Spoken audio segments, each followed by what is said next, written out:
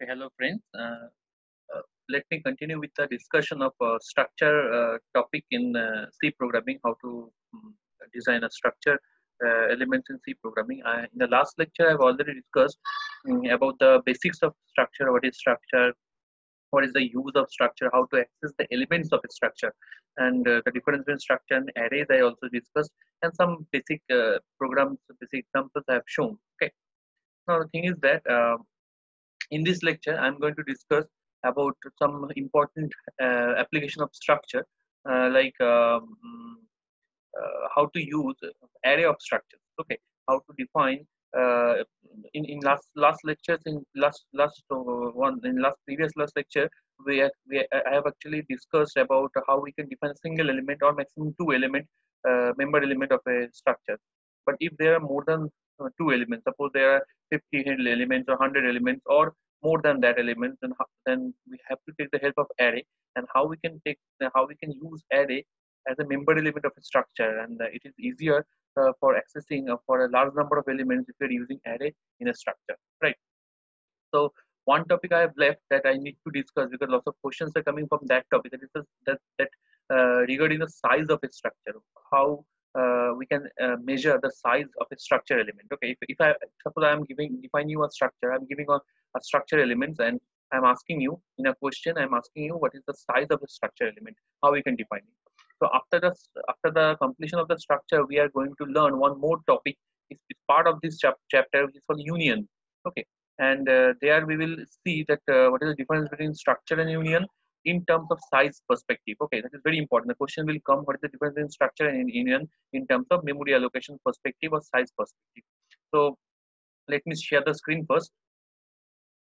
So here, we'll first check how we can measure the size of a structure. So in general Book's definition, uh, if we want to measure the size of a structure, we have to make a sum of the members of the structure which you have defined, right?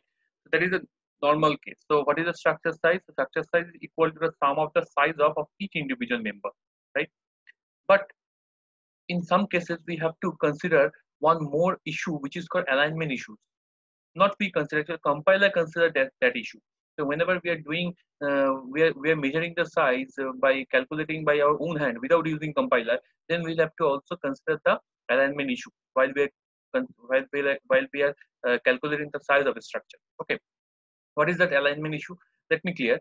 So let me discuss what how the structure size which depends on alignment issue. So this is because of padding added by the compiler to avoid the alignment issue. So compiler generally tries to avoid the alignment issues and to avoid the alignment issues, compiler has a technique of called padding technique. Okay, padding technique means it actually padding the size of a structure. Padding means it, actually adds some extra space or extra size uh, of that particular element uh, over over the over its actual size okay.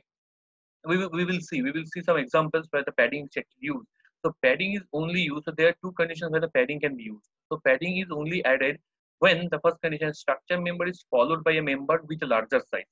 The structure member followed by a member with a larger size. What does it mean? Suppose in a structure you have defined the first member you have defined as suppose int x second member you have defined suppose double y. Okay? So int x according to the C compiler, we will take any one of the C architecture and uh, suppose the size of an integer x is 4 byte, okay, according to suppose uh, x86 architecture. Now, the size of the double is 8 byte, okay, all of we are aware about the size of the data types. So, padding is added in case of this situation where the integer size is 4 byte and the rest and, and, and followed by data type size is 8 byte larger Okay, so here the structure padding is added when the structure member is followed by a member with a larger. So obviously the integer x has been followed by double y. So double y size is just double of the integer x size. So it's a larger member. So then we will add padding. That is the first condition. Second condition, or at end at the end of the structure. So at the end of the structure, we will use padding. So we'll check. We will check. So defined compiler have defined alignment constraint as C standards state that alignment of structure totally depends on the of the implementation. Okay. So let's check one example that uh, I have run here. So if you check, this is an example. Here we have defined a structure with the name A. In the structure, I have defined uh, three variables, or three members you can say, three structure members. First is integer member of size 4, double member of size 8, and short member short int of size 2 so as per our conditions padding conditions the if the uh, structure member uh, is, less in, in terms of size by the followed structure member then we will have to add padding now padding means how much padding we will add that is the question the padding the, the, the, the size of the padding should be the rest of the size of its larger member from its larger member. That means if 8 is a larger member size, double size, and integer size is 4, so 8 minus 4 is 4 byte. So that 4 byte will be the padding byte. It's actually alignment issue. If you check this figure, your conception will be clear. So this is a double data type Z which I have defined here. Okay, whose size is 8. Now this is the X integer whose size is just middle of it, half of it, 4 byte. So this is the extra, this red section is the extra padding. It is added to, uh, to make up the alignment. And next data type, next data type will also add because the structure says that there is short int 2 byte, but structure definition says that the rest of the 6 byte will, it will add for the padding because it says that at the end or at the end of the structure. This is the end of the structure, so we'll add 6 byte. So total 8 plus 4 plus 4, 8 bytes, 8 plus 8, 16 byte 16 plus 2 18 18 plus 6 24 bytes so we'll run this code. The size of operator size of function we are using to measure the size of a structure. So the size of a structure returns 24 clear? Now we will check one more example to make it clear the size of a structure suppose this example in this example there is another structure whose name is c i have defined double z short int x and int short int z y and int x so here the first padding condition is not true. That means the in, in the first two cases, that means the first one is the higher size, larger size there, right? Second one is the second one is the lower size structure member compared to the first one. So it is not followed by a higher type. There is no padding is required here. So it, it, it does not perform any padding here. So it will take the actual size of 8. The size of Z is 8, right? Full size. Now the short in size is 2. Now, if you follow, the conditions will satisfy again that the first member, the structure member of short int is lower than the structure member of int in terms of size. So int is a, index is a larger member than int y, short int y. So that's why the extra bit, that is extra byte is 2 bytes. So that 2 bytes will be padded here. Okay, so total size is 8 plus 2 plus 2 plus 4. Okay, 16 the total size. So you, you will you please check, you please run this code. So this sizing concept of structure is very important. MCQ questions are coming frequently to uh, calculate the size of a structure or size of a structure may come as a short note. So you will have to uh, define it with some examples, right? Now let's check how to define array of a structure. So here it's, it's a very simple program where we have defined an array of a structure. This is a structure called point which has two members x and y now, within the main function, we have defined, this is one of the another definition of structure. I have already discussed about this definition. We can define this element add of 10 before this semicolon, the declaration, within the declaration, along with the declaration of the structure, or we can define it as a local structure member, uh, structure variable declaration within the main function. The struct point followed by the array of 10. So we can define, so we can get in, previous examples, in previous structure program, we have seen, we are going to access only one, we are going to define only one structure variable. Here, instead of one, we have defined 10 structure variables. Not defined, we actually initialize 10, 10, 10 structure variables. declare 10 structure variables. But among these 10, maximum 10 structure variables of add type, we can use here. Minimum we can also use. Okay. So for sake of simplicity, I have used only the first two members, only two members or two two add elements, the add element of zero positions. Okay. In the add element, only one member, sorry, not two, only one. The add element zero position will be accessed by First one, the add of 0 dot x equal to 10, whose value is 10, and add of 0 dot y, whose value is 20. So for one element of the array, that is 0th position element, x and y can be accessed individually. In the same way, for rest of the 10 elements or rest of the 9 elements of the array, this x and y can be accessed and can get can be initialized with different different values. Like the next statement you can write add 1 dot x equal to 50, add 1 dot y equal to 20 next uh, next statement you can access for add 2 add 2 dot x equal to something add, add, 2 dot y equal to something. In this way you can access all the 10 elements of the array. Okay. So this is the access elements we can provide manually Okay, so we can run this code in this way as well. Add one dot x equal to 10 add 1 dot y equal to 15 so in this way we can also access the array elements. Okay all the array elements we can access. in this way we can also do the uh, add two elements. Add two elements we can do for individual access of array members okay so this is the way we can access array elements right but the thing is that it is possible for 10 members to make a copy paste of each and every element or to, to repeat the same statement for each and every element of the array to access in x and y. But suppose if the array size is 500, suppose. So what should we do? That is the logic. Very simple. In case of 0, we will use a variable i here. And i is actually looping variable. So we can run a for loop here.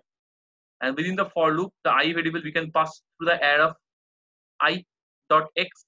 So when i is 0, it will access the x member of the zeroth element. For the zeroth element when i is 1 it will access the x member for the i for the one element. When i is 2 it will access the x member for the second element and so on. Okay. This example you will, will run. I am not going to run it. It's very simple one. So now i am showing you the next example of taking more number of students. Suppose i am defining a structure named student which has three members first name roll number and marks of the student. Defined kinds of members. And there is one structure variable has been defined the s type which can contain maximum 10 students uh, information okay? These are de declaration. Please remember these are declaration. You can use less than that size okay? As per the your choice as per the developer choice. So enter the information of the student. So in this program i'm using the information only of five students define the five students information right so in five students information roll number i have make it uh, increment type I didn't uh, want to, I don't want to take this uh, through the scanf function each and every time because roll number is always increment function I'm trying to do in this program. So roll number one for the first student, roll number two for the second student, roll number three for the third student, and so on.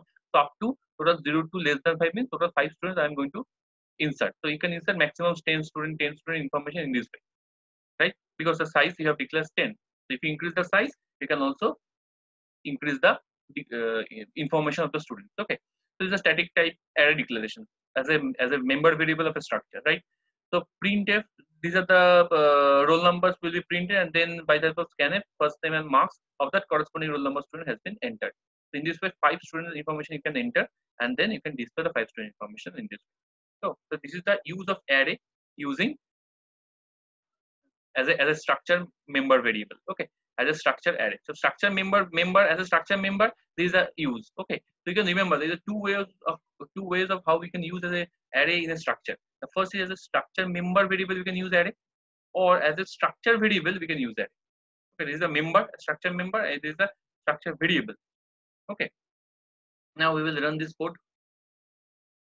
Let me give, give you the information. So this is the first roll number one student information. Suppose the name of the student is John marks suppose 45 now the name of the student is Shuken. Marks suppose 70 77 the name of the student is suppose Sanjay. Marks suppose 80 the name of the student is suppose Raj. Marks suppose 79 the name of the student is suppose uh,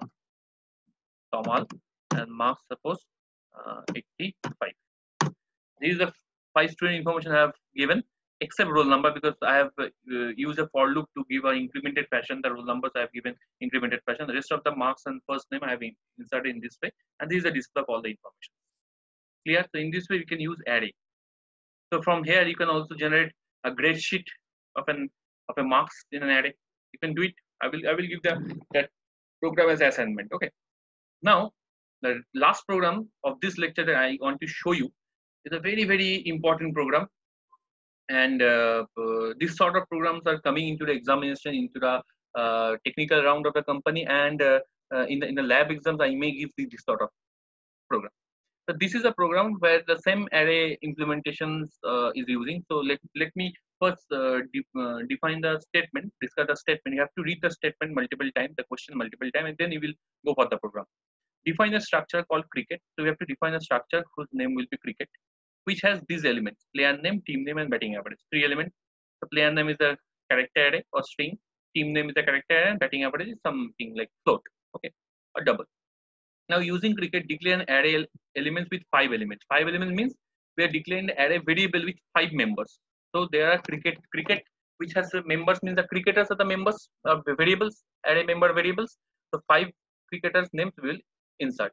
Now write a C program to read the information about all the five players. So we have to provide all this information for the five players and print team-wise list containing name of players with their batting average. What do you mean by team-wise list containing name of players with their batting average? In this program, make it more clear, ascending team-wise list. So in this program, whatever inputs we are giving into the code, that input, when, when the output will be displayed, that output will be in ascending order based on the team name. Based on the team name. I, I will run this code I will show the example. Suppose, let me run the code first, then I will dis discuss it. First player name. Suppose the first player name I have given Dhoni. Team name suppose I have given India. Batting average suppose 78.14. Okay. Now second player name suppose Ponting. Team name I have given Australia. And batting average suppose uh, 79. Suppose Next player name suppose Razak. Team name suppose Bangladesh. Okay, batting average suppose 67.73. Okay. Next team player name suppose um, Kaptil. Okay. New Zealand. And spelling may be wrong. And uh, this average suppose 76.9. Last player suppose Lara. West Indies and 81. Let's check out the output. This is the output. From this here, this is the output. So you can check. It will sort out all the player names and his batting average based on the team name. Okay, so A Australia A comes first, then Bangladesh B comes first, then I India comes uh, next, then New Zealand, and then last one is West Indies. So in this way, it will shorted all the informations of the structure right? So let me discuss the program first. So you can understand we are using a something sorting type of technique bubble sort type of technique. So in bubble sort we are using one very one two two common uh, sub function one is a comparison function and second one is the swapping function. So we are comparing two elements of each other okay? And if the first element is greater than the second element then we will swap it and if the first element is less than second element we are doing nothing. We will just skip the loop that is the most logical. So have struct cricket is a structure type which i have defined the three members of the structure type and p of 5 for the player name. P for player for five players. Okay. T i am using for swapping temporary variable we, are, we have to use a swapping function for bubble sort and for this t we are acting like a temporary variable. Now within void main we will just make a for loop and take a player name all the details of five player names okay? For loop will run from 0 to n n means 5 okay? Now this is the main sorting of data based on team. This is the sorting on data based on team. This is the actual sorting algorithm. I think all of you are aware about it i don't need to tell you this algorithm because this algorithm i have already discussed during the bubble sort you, you know how to do the sorting. This is, a, this is a swapping function within the sorting. If the first team name is greater than the second team name then if then it will return the value greater than zero string compare function is to return the value either mm, uh, greater than zero or less than zero. So when it is greater than zero it will do swapping. So greater than zero when it is greater than zero if in alphabetical order the first team name is greater than the second team name. Then it will return greater than zero and then do swapping. And last one is it will actually print the values of this result. So i think all of you must do this practice this code okay at your home. All of you must practice this code at your home. It's a very, very important code. And you will get in last few years. This code has uh, come in several examinations. Okay. So this is all about this lecture. In my live session, in, in live Zoom session on Tuesday, on Thursday, uh, I am going to give you a lecture on um, uh, on uh, the other two topics that uh, regarding structure, how we can use the function in a structure and how we can use pointer in a structure okay and also i am going to discuss about union okay the the subtopic of this chapter union and then the difference between structure and union very important. So if you have any query any question you can uh, ping me uh, in google classroom or in my mail on in my whatsapp i am always available for you. So i think uh, this lecture should be ends here. So thank you for watching this lecture.